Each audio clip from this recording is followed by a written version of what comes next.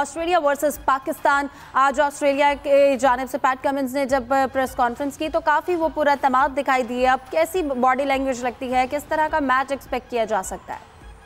ये दोनों टीमें जो है, वो एक ही कश्ती की सवार लगती हैं। अभी तक हालात हैं दोनों को एक एक मैच में नाकामी का सामना करना पड़ा है। दरअसल ऑस्ट्रेलिया को दो मैचेस में नाकामी का सामना करना पड़ा है। और उन्होंने पिछला मैच जो है, वो श्रीलंका के खिलाफ खासा कन्विंसिंगली जीता और फाइट बैक करके जीता आखिर में। तो इस तरह, वो ट्रैक पर वो टीम वापस आई है और ऐसा बहुत कम देखने को मिलता है कि ऑस्ट्रेलिया जो है, वो किसी आलमी इवेंट में इस तरह के दबाव में टूर्नामेंट शुरू करे।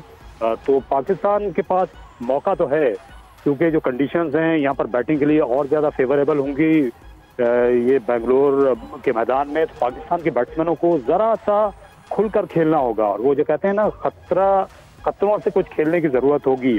यहाँ आप सेट हों और सेट होने के बाद आप बड़े शॉट्स के लिए ना जाएँ तो वो फिर समझ से बालातर हो जाता है। और मेरा ख्याल है कि बाबर आज़म को अब कान धरने की ज़रूरत है। जो बाहर से आवाज़ें उठना शुरू हो गई हैं और जिस तरह पाकिस्तान की बैटिंग पर बैटिंग की अप्रोच पे अब सवाल उठने लगे हैं। मेरा ख्याल है अब उसको संजीदगी से लेने की ज़रूरत है। और बिल्कुल। जब आप एक बार बीस पच्चीस गेंदे खेल लेते हैं इस फॉर्मेट में।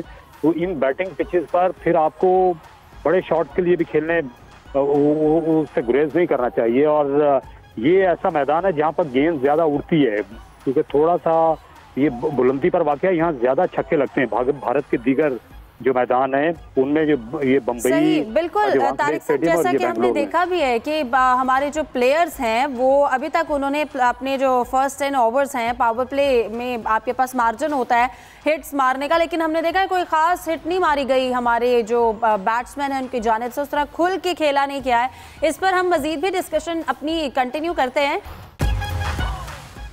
वेलकम बैक इन जोश जगाते और जब वर्ल्ड कप स्टार्ट होता है तो तमाम ही शायकीन में काफ़ी जोश होता है। मैचेस को लेकर वर्ल्ड कप को लेकर काफ़ी एक्साइटमेंट होती है और सभी अपनी तैयारियाँ करते हैं। ये पहला वर्ल्ड कप है जिसमें पाकिस्तानी शायकीन जो हैं वो आ, ये मैच देखने लाइव नहीं जा सके। टीवी स्क्रीन पर वो ये अपने मैचेस इंजॉय ज़रूर करते हैं लेकिन वो ये जा नहीं सके हैं मैचेस देखने के लिए।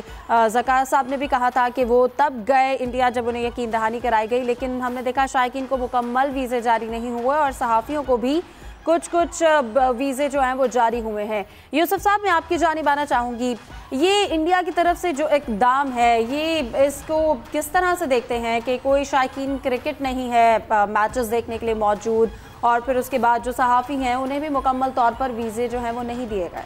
देखिए, अब सर, जब भी आईसीसी किसी मुल्क को कोई इवेंट अवार्ड करती है तो उस पर पहले लिखा यह जाता है कि वो तमाम जितने भी यहाँ पर सहाफ़ी होंगे, जितने फैंस होंगे और जो टीमों की सिक्योरिटी होगी, उनको यकीनी बनाएगी। इंडिया ने इस हवाले से तकरीबन 25 परसेंट काम ज़रूर किया कि पाकिस्तानी टीम को उन्होंने सिक्योरिटी दी है, पाकिस्तानी टीम को उन्होंने वहाँ पर वीज़े जारी किए हैं, लेकिन जो बाकी पचहत्तर परसेंट काम है, वो अभी तक उन्होंने कंप्लीट नहीं किया। अगर ये इवेंट किसी और मुल्क होता तो यकीनी तौर पर आई सी इस पर सख्त एक्शन लेती, लेकिन चूँकि इंडियन क्रिकेट बोर्ड के बहुत सारे ऑफिशियल के साथ उनके अच्छे खासे तल्लक हैं, फिर ये कि इंडिया एक बहुत बड़ी मार्केट है क्रिकेट की। तो आईसीसी हुकाम भी थोड़ा कतरा रहे हैं, कोई एक्शन लेने से। पाकिस्तान क्रिकेट बोर्ड ने उनको खतूत भी लिखे हैं कि दोबारा पाकिस्तानी फैंस को वीज़े के लिए जल्द से जल्द उनकी जो दस्तियाबी यकीनी बनाई जाए। कुछ मीडिया पर्सनस को वीज़ा ज़रूर उन्होंने दिया लेकिन वो भी कह रहे हैं कि खाना पूरी के लिए उन्होंने दिया कि दुनिया को दिखा सकें कि हम वीज़ा देना शुरू कर दिए हैं। अभी दोबारा पाकिस्तान क्रिकेट बोर्ड ने उससे दरख्वास्त की है कि पाकिस्तानी फैंस को भी वीज़े जारी की क्योंकि बहुत से पाकिस्तानी फैंस ने अपने टिकट्स परचेज़ कर रखे वो मंतज़र है उनको वीज़ा पॉलिसी उनका ऐलान किए जब वीज़े उनको जारी हों। पाकिस्तान के बगैर एक क्राउड यकीनी तौर पर पाकिस्तान का वहाँ पर नहीं है लेकिन बिल्कुल और हमारे खिलाड़ियों को उस तरह से चेयरअप करने के लिए भी हमारे शायकीन मौजूद नहीं है। फिर जायद साहब हमने देखा जब वो क्राउड वहाँ पर मौजूद था पाकिस्तान इंडिया के मैच में किस तरह से एक डॉन्टिंग की गई पाकिस्तानी प्लेयर्स को उस पर बड़ा स्ट्रेस होता है। और फिर हम, मैं इसमें ऐड करना चाहूँगी कि गौतम गंभीर ने भी बड़ा अपने जो खिला, वो वहाँ के शायकीन हैं, उनको बड़ा क्रिटिसाइज़ किया। अमूमन वो पाकिस्तान के ख़िलाफ़ होते हैं। लेकिन हमने देखा कि वो यहाँ पर उन्होंने अपने जो शायकीन हैं क्रिकेट के, उनको बड़ा क्रिटिसाइज़ किया। देखें, उनके टेस्ट क्रिकेटर जो फास्ट बॉलर हैं, इरफान पठान तो आज उन्होंने एक भारतीय इंडियन टीवी चैनल से बात करते हुए ये कहा है कि हम जब पाकिस्तान गए थे तो गालबन पेशावर या किसी ग्राउंड में तमाशाई की तरफ़ से कोई चीज़ आई थी जो इरफान पठान को लगी थी। उनका कहना था क्योंकि पाकिस्तान की हॉस्पिटैलिटी बहुत अच्छी थी हमने इस बात को इशू नहीं बनाया था इसलिए पाकिस्तान को भी चाहिए कि वह तमाशाइयों के रवैये को ज़्यादा ना उछालें ज़्यादा इस पर बात ना करें। हालाँकि इससे पहले गौतम गंभीर जिन्होंने यूएई के एक अखबार में अपना कालम लिखते हैं उन्होंने लिख के हालाँकि गौतम गंभीर जो उनके सबक कप्तान है ओपनर है उनके बारे में कहा जाता है बिल्कुल। अमूमन पाकिस्तान के बारे में पाकिस्तान के हवाले से